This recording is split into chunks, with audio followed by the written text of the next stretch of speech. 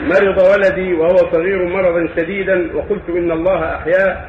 أصوم من كل سنة شهر رجب وأنا الآن لم أصم ولو شهرا واحدا. حاسس أني كل سنة حامل أو مرضع. ومضى لهذا النذر حوالي تسع سنوات وأنا لا أستطيع وغير صحيحة. فماذا أفعل؟ هذا النذر مكروه. نذرها ان تصوم شهر رجب كل سنة مكروه. فعليها كفارة يمين ويكفي لأن نذر مكروه. والنذر مكروه يكفي فيه كفارة يمين فإذا كفرت كفاره يمين طعام عشره مساكين لكل مسكين نصف صاع من التمر من قوت البلد أو من الرز أو تكسوهم كفى ذلك والحمد لله. ولا يزال ما نعم افراد رجب بالصيام وخيرا